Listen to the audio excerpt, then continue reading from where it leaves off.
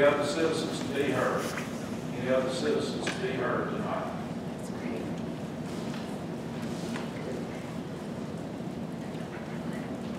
Good evening, council. My name is Gretchen Quarterman. I'm the executive director of WWALS Watershed Coalition.